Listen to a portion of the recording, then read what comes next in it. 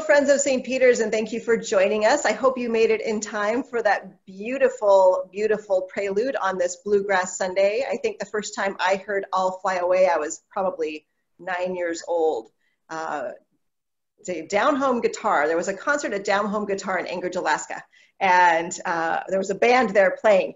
And I remember hearing that beautiful, beautiful hymn. And thank you so much to Abigail, Adrian, and Joey uh, for offering us beautiful music um, on this Bluegrass weekend. We're also excited that we have Anne and Olivia here to be our readers. It's always wonderful hearing voices speaking together in this age of, um, of Zoom worship. So thank you for joining us as lectors today. Our service begins in our bulletin, which you'll find uh, posted uh, in, the, um, in the comments and hopefully in the introduction to this video, both on YouTube and on Facebook. And we begin with the opening acclamation. Blessed be God, Father, Son, and Holy Spirit. And blessed be his kingdom, kingdom forever. Amen. Almighty God, to you all hearts are open, all desires known, and from you no secrets are hid. Cleanse the thoughts of our hearts by the inspiration of your Holy Spirit, that we may perfectly love you and worthily magnify your holy name through Christ our Lord. Amen. And we'll say the great and wonderful. Great and wonderful are your deeds, O Lord God the Almighty. Just and true are your ways, O sovereign of the nations. Who shall not revere and praise your name, O Lord? For you alone are holy. All nations shall come and worship in your presence, for your just dealings have been revealed. To the one who is seated on the throne and to the Lamb be blessing and honor, glory and might forever and ever. Amen. Amen. The Lord be with you. And also with you. Let us pray. Grant, O merciful God, that your church, being gathered together in unity by your Holy Spirit, may show forth your power among all peoples to the glory of your name. Through Jesus Christ our Lord, who lives and reigns with you and the Holy Spirit, one God, forever and ever. Amen. Amen. A reading from the book of Exodus. Now a new king arose over Egypt who did not know Joseph. He said to his people, Look, the Israelite people are more numerous and more powerful than we. Come, let us deal shrewdly with them, or they will increase. And in the event of war, join our enemies and fight against us and escape from the land. Therefore, they set taskmasters over them to oppress them with forced labor. They built supply cities, Pithom and Ramses for Pharaoh.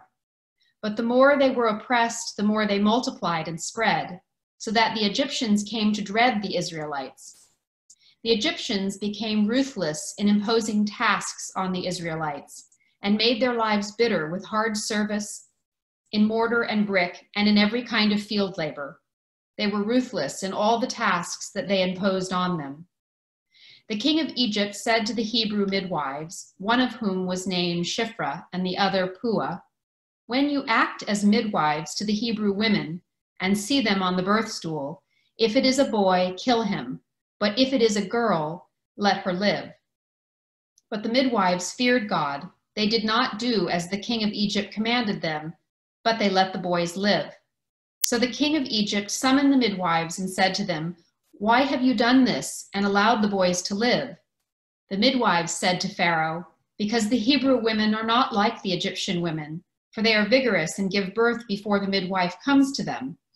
So God dealt with, well with the midwives, and the people multiplied and became very strong. And because the midwives feared God, he gave them families. Then Pharaoh commanded all his people Every boy that is born to the Hebrews you shall throw into the Nile, but you shall let every girl live. Now a man from the house of Levi went and married a Levite woman. The woman conceived and bore a son, and when she saw that he was a fine baby, she hid him three months. When she could hide him no longer, she got a papyrus basket for him and plastered it with bitumen and pitch and she put the child in it and placed it among the reeds on the bank of the river. His sister stood at the distance to see what would happen to him. The daughter of Pharaoh came down to bathe at the river. while her attendants walked beside the river. She saw the basket among the reeds and sent her maid to bring it in. When she opened it, she saw the child. He was crying, and she took pity on him. This must be one of the Hebrews' children, she said. Then his sister said to Pharaoh's daughter, Shall I go and get you a nurse from the Hebrew women to nurse the child for you? Pharaoh's daughter said to her, Yes. So the girl went and called the child's mother. Pharaoh's daughter said to her, Take this child and nurse it for me, and I will give you your wages. So the woman took the child and nursed it. When the child grew up, she brought him to Pharaoh's daughter, and she took him as her son. She named him Moses, because, she said, I drew him out of the water. The word of the Lord. Thanks be to God. Please join in reading the psalm responsively by whole verse. If the Lord had not been on our side, let Israel now say.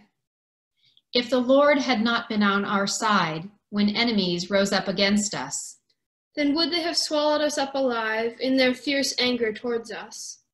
Then would the waters have overwhelmed us and the torrent gone over us.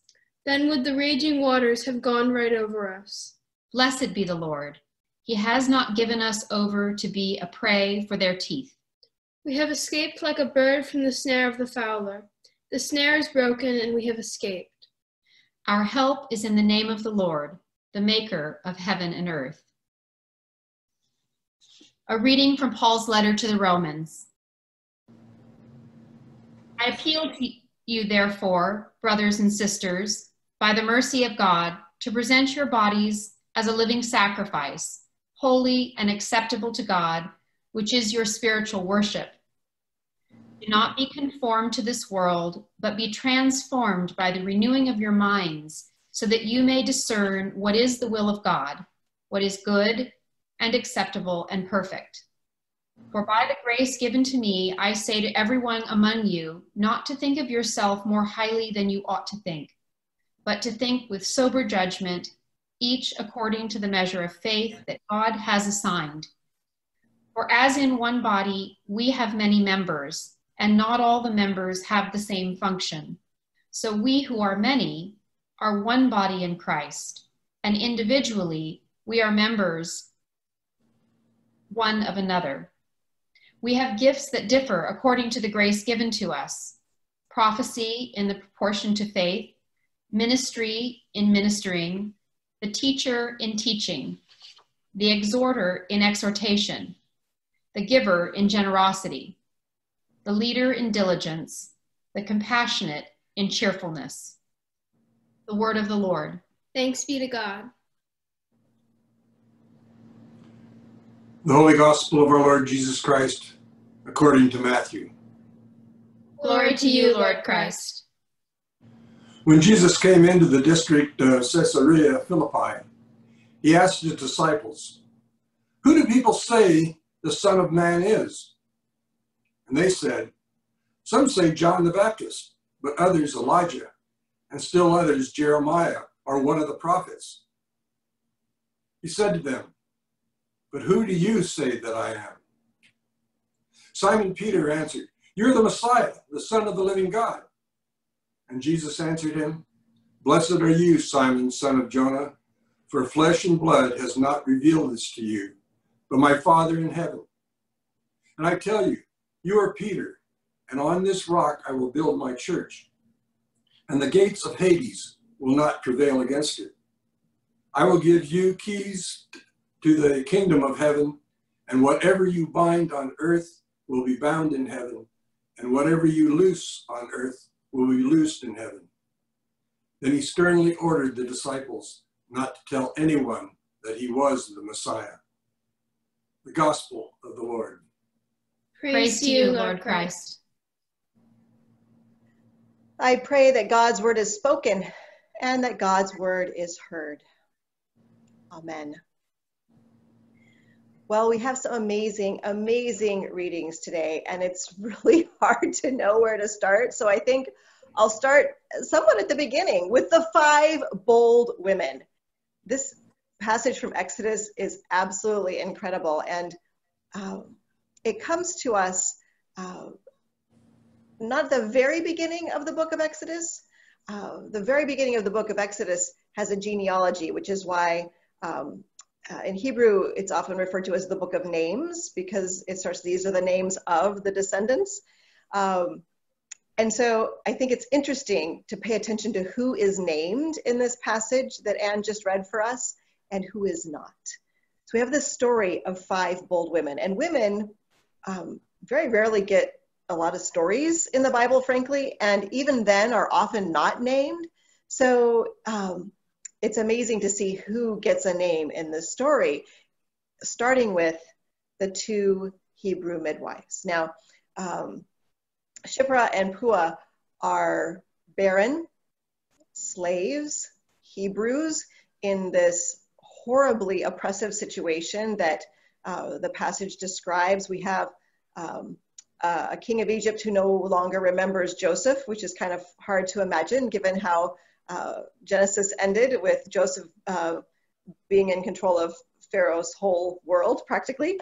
Um, and the Hebrew people have finally been fruitful and multiplied uh, as they've been commanded throughout Genesis, uh, chapter 1, chapter 8, chapter 35, over and over be fruitful and multiply. Well, they finally are fruitful and multiply, but they're in Egypt and not in the promised land. So, um, time for a story, right? We got to get them back to the promised land. And so we find ourselves in Exodus and we find the Egyptians afraid because um, they are being fruitful uh, and multiplying. And um, so we hear this story of oppression and we hear how um, the king of Egypt, did you catch that? At first, he's not called Pharaoh. He doesn't even get a name. We don't know which Pharaoh this is.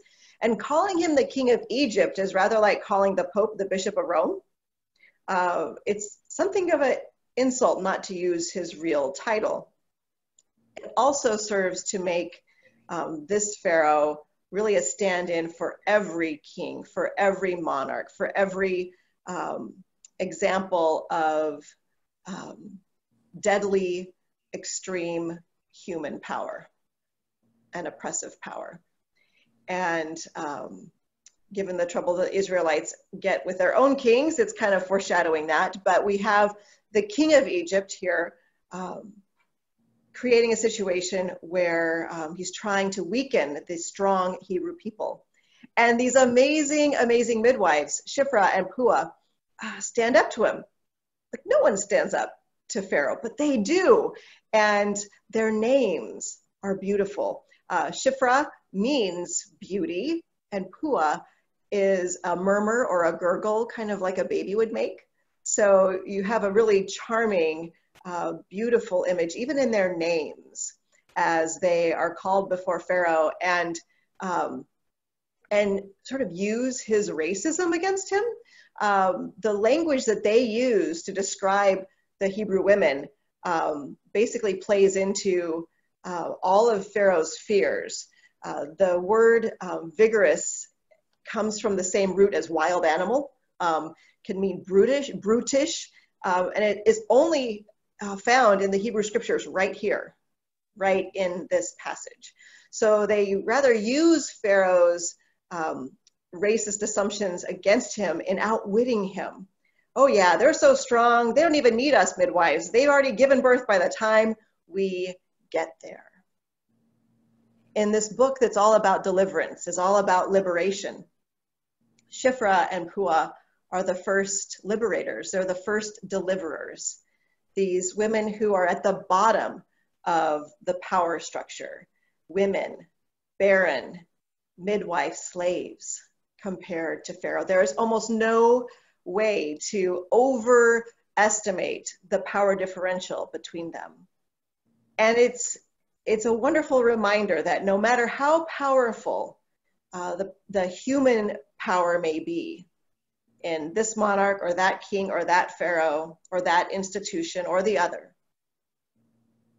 No human power is greater than the power of God and God's love. And they truly, these two midwives, um, begin this story by showing how um, we can live into that passage from Romans, offering the, their whole selves as a living sacrifice. Their whole, their very living, not being conformed to the world, standing up against the system and allowing God's dream to unfold. But it doesn't stop there. We also have the story of Moses' mother and his sister, who might be Miriam, but neither of them are named. And we hear Moses' mother um, giving birth to this son and seeing that he is a very fine boy. And that word, more fun with Hebrew, um, really means very good. Uh, and if you think back to Genesis, when God creates creation and says it is good, good, very, very good, that's the same word. So she is really speaking new creation into this story as well. And she holds on to her son for three months and then releases him um, in the basket into the Nile. And Moses' sister follows along just to see what's going to happen. And Pharaoh's daughter finds him in the bulrushes and draws him out. And I love how Miriam, or Moses' sister, pulls this off. She's like, hey, you know, I bet I know someone who can nurse him. How incredibly clever. And so, indeed, not only is Moses saved, he is um, his, in his young life still raised by his mother and in his family.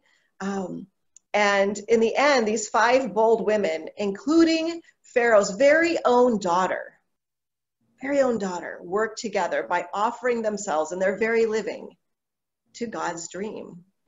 And Pharaoh will be undone.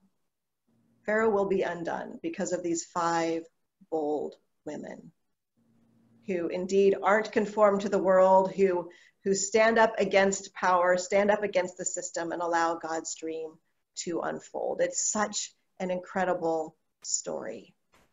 And I'm grateful that we got to hear this passage from Romans 12 today. Um, as Paul exhorts uh, the churches in Rome and exhorts all of us to, to offer our entire selves. The, the word uh, somata means body, but in its use, um, really is about our whole self, our whole living, our very life to be offered as a living sacrifice, which is something of an oxymoron.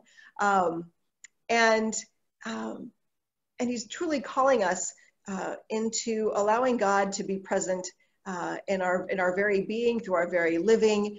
And um, this language around this being our spiritual worship there's so much translation stuff. I had so much fun this week in preparing, as you can tell. Um, the, the word that they're using for spiritual worship does not derive from spirit, um, pneuma, it derives from logos. It almost might be better to say your logical worship, your appropriate worship. The most apt and fitting worship you could do uh, would be to offer your whole self uh, in this way and to allow yourself to be transformed by doing so. Um, and and this this passage this passage exhorting us to live in this way is um, really the explanation point uh, expl- explanation point and exclamation point to all that paul has been saying over these last 11 chapters um, what is the the problem we face as humans is our sin what is the um, the answer god's love and grace through jesus God's love and grace from which nothing can separate us. And this is really the so what. So so live, live fully, live fully in God, uh, and bring about God's dream using whatever unique gifts God has given you. Um, uh, the uh, prophecy in proportion to faith, ministry uh, in ministering, teacher in teaching, exhorter in exhortation, the giver in generosity, the leader in diligence, the compassionate in cheerfulness in cheerfulness. Such beautiful, beautiful encouragement. And it ties together beautifully as we hear the gospel this morning and really answers the question that Jesus asks his disciples and asks us um, Who do you say that I am? I promise there's even more fun with translation about that very sentence in just a moment the setting. We're in Caesarea Philippi.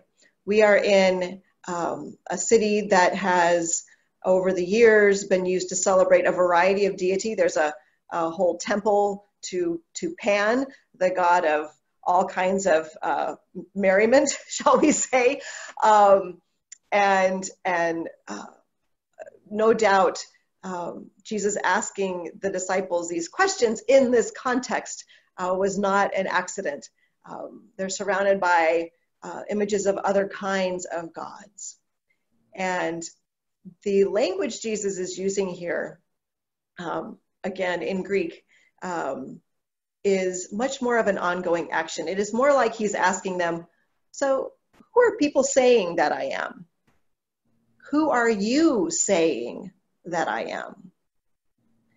Um, he's actually not asking for uh, a confession, though Peter gives him one. Um, he's asking about an ongoing reality. Who are you saying that I am? And we've already heard uh, in the recent passages them declaring him to be the Son of God. And now Peter makes this confession You are the Messiah, the Son of the living God.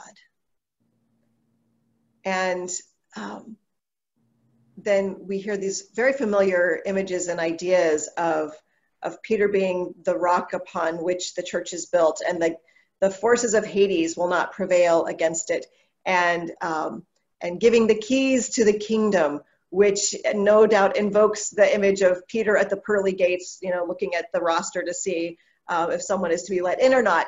Um, and those are fond images, especially in cartoons, but theologically is not so much of what's happening here.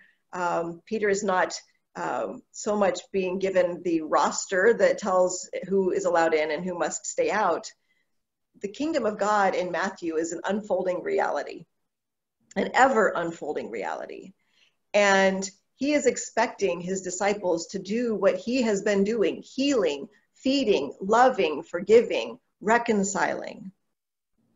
And so when Jesus is saying, You, the church, have the keys to the kingdom, what I hear is a call for all of us to, with those keys, let loose the grace, the mercy, the forgiveness, the love, the healing that Jesus has offered us and that God dreams can can just overtake the world. Healing, love, grace, mercy, forgiveness and the powers of Hades, the very powers of death, will not overcome God's dream. So, who are we saying Jesus is by how we are living? Are we making our lives living sacrifices by offering our unique gifts to God's dream? Because this is our, our fitting worship, our appropriate worship, the logical outcome of the good news, the good news of Jesus, that, that we are forgiven, that we are loved, and nothing in the world can separate us from the love of God and Jesus Christ. Absolutely nothing. There's nothing we can do to change that God loves us. There's nothing that the world can do to take away that love. And we have been given the keys of the kingdom the power to unleash that grace and mercy and love and forgiveness upon this world that God loves so much. So, who are we saying Jesus is by our living? Are we living in love and grace and mercy and forgiveness? Are we offering healing to others? Are we accepting that grace, mercy, and love for ourselves? Who are we saying Jesus is? Amen. Let us recite together the Nicene Creed, the foundation of our Christian faith. We believe in one God, the Father, the Almighty, maker of heaven and earth, of all that is seen and unseen. We believe in one Lord, Jesus Christ, the only Son of God eternally begotten of the Father, God from God, light from light, true God from true God, begotten, not made, of one being with the Father. Through him all things were made. For us and for our salvation, he came down from heaven. By the power of the Holy Spirit, he became incarnate from the Virgin Mary and was made man. For our sake, he was crucified under Pontius Pilate. He suffered death and was buried on the third day, he rose again in accordance with the scriptures. He ascended into heaven and is seated at the right hand of the Father. He will come again in glory to judge the living and the dead, and his kingdom will have no end. We believe in the Holy Spirit, the Lord, the giver of life, who proceeds from the Father and the Son. With the Father and the Son, he is worshiped and glorified. He has spoken through the prophets. We believe in one holy Catholic and Apostolic Church. We acknowledge one baptism for the forgiveness of sin. We look for the resurrection of the dead and the life of the world to come. Amen. Amen.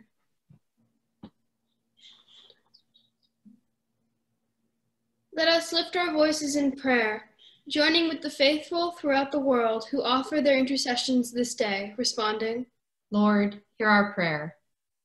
Give your grace to those who care for children in foster homes, sustain them with patience, and encourage them to provide a family of love and respect. Let us pray. Lord, hear our prayer. Open our eyes to behold your hand in the work of creation, that we may marvel at your intricate craft- craftsmanship and tend the beauty that we behold. Let us pray. Lord, hear our prayer. Pour your knowledge into the minds of those who are returning to school in the next few weeks, and for those attending for the first time. Still, still in their hearts by your loving presence. Let us pray.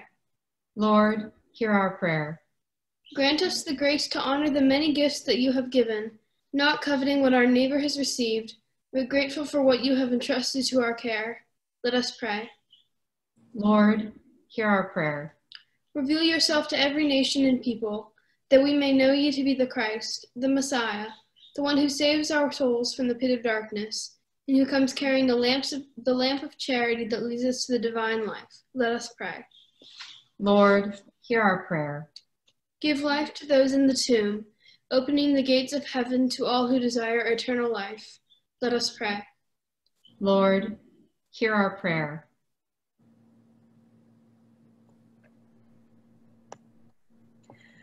O most mighty and merciful God, in this time of great sickness, we flee to you for relief and comfort. Deliver us, we beseech you, from our peril. Give strength and skill to all those who minister to the sick. Prosper the means made use for their cure. Comfort those who mourn or who are in great financial distress.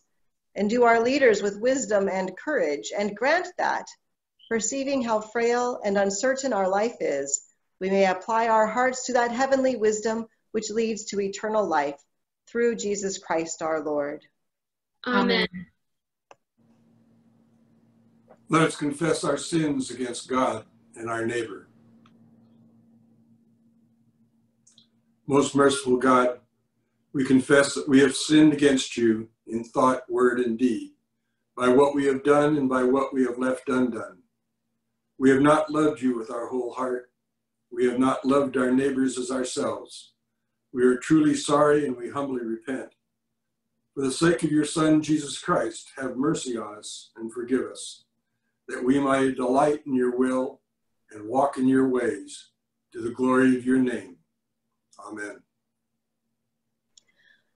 Almighty God, have mercy on you, forgive you all your sins through our Lord Jesus Christ, strengthen you in all goodness, and by the power of the Holy Spirit, keep you in eternal life. Amen. Amen. And may the peace of the Lord be always with you. And And also with you. And I apologize for not mentioning earlier an invitation to add to our um, comments in Facebook or YouTube your birthday and anniversary prayers, but we invite you to do so now.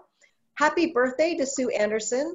Uh, this is her birthday today, and we're so excited. And her sister's birthday is was this week as well. But Sue, happy birthday!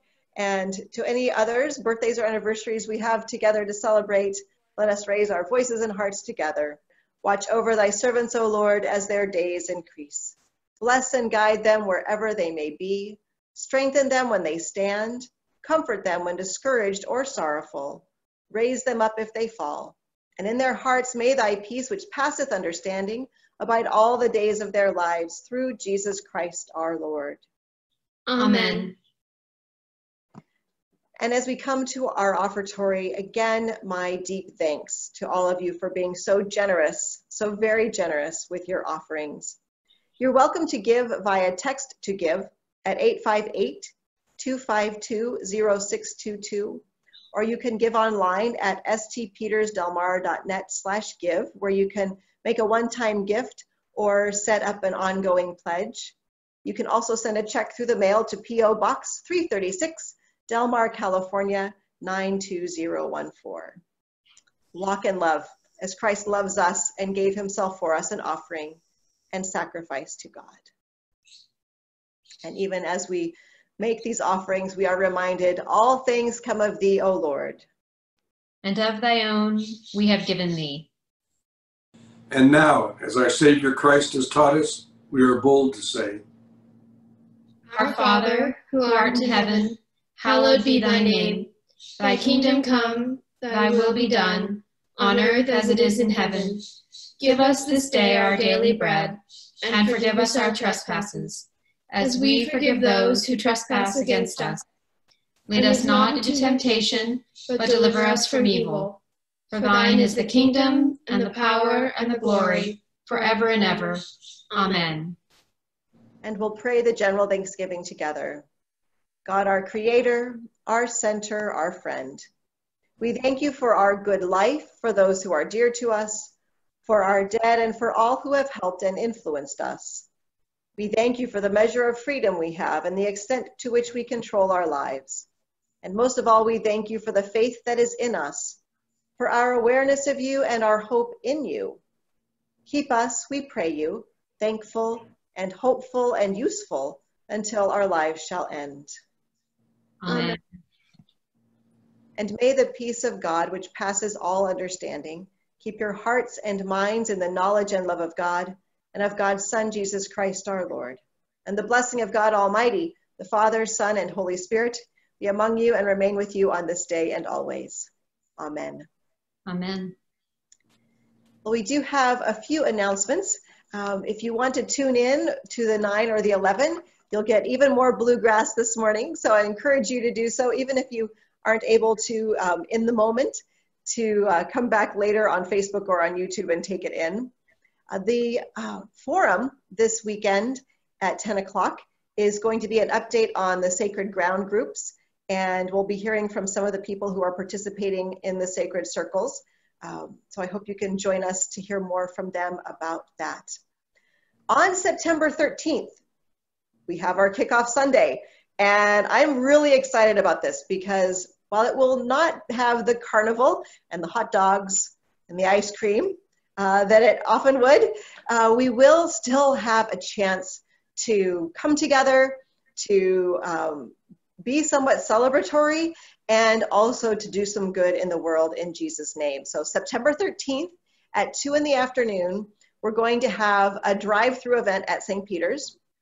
We will have a backpack blessing, so bring your backpacks, a device dedication. So, if you've been watching worship on your iPad or your phone or your laptop, bring your device with you and we will have a dedication of your, uh, your device for the worship purpose. Uh, we will be handing out some goodies for, um, uh, for Sunday school as well. Um, music for those who are in choir and um, also have a chance to do some good in the world. We are going to be doing an in-gathering, um, some books that have been requested for uh, Refugee Net. And also, we're working on the details, but our intention is to have an in-gathering that will help those who are struggling with um, distance learning uh, for school by providing either devices or higher quality internet. And we're working with um, some school districts and some of the community colleges and even Time Warner um, et cetera, on how best to make that happen for those who are in need, particularly um, families who uh, don't have the resources to have that many people online with their current bandwidth, how we can help them do that. So more information to come, but I hope you'll join us September 13th at 2. Um, and it'll be just great to see you even if you are still in your car and I have to wave at you from six feet away and, and bless your backpack and your iPad. Uh, I look forward to it, but I also look forward to us together doing something in God's name um, to make a difference in this world. So truly uh, by our very living in our own unique ways. So I uh, look forward to seeing you there. There will also be an evensong, um, a joint evensong we're doing with St. Bart's uh, later that day. So it promises to be a very exciting day. Um, as we think about starting up, um, one of the things that we'll be starting up very soon is Education for Ministry. And I'm so glad that we have Ann Iverson Peltier here to talk to you a little bit about Education for Ministry this fall. Ann? Hi. Um, I am one of the mentors of St. Peter's um, Education for Ministry group. I do that along with my father, Pete Iverson.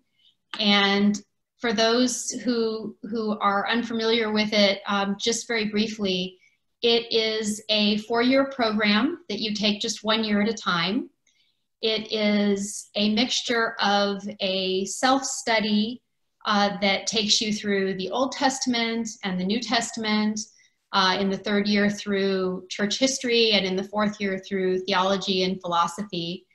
Um, but I think the part that I loved the most. I was think was looking forward to the scholarly part when I took it, but the part that I loved the most was the, the community that developed.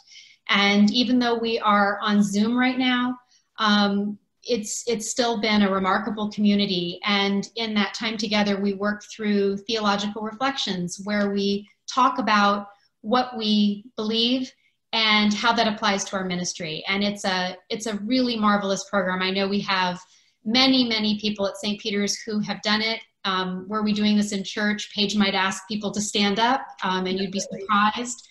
But um, we have four spots in our class um, of 12 still available this fall. And my dad and I would love it if you um, let Paige know you were interested. We'd love to speak um, uh, to you about it more. It's a, it's a wonderful experience. Thank you so much, Ann. And you can email me at pblair at stpetersdelmar.net and I will get you in touch with, with Ann or with Pete so you can find out more or even better yet, register.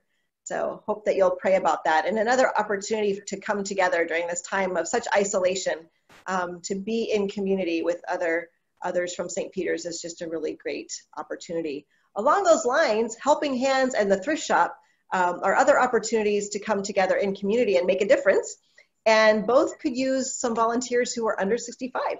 So opportunities to serve, I hope you're praying about that um, as a possibility. Please let me know if you're interested either in um, helping out at the thrift shop or helping hands and I will get you in touch with those ministry leaders. I believe there's still an announcement in the bulletin too with that contact information and a hyperlink if you open it online to those email addresses. Am I forgetting any other announcements, Deacon Bob? Well, then will you dismiss us, please? Let us go forth in the name of Christ. Thanks be to God.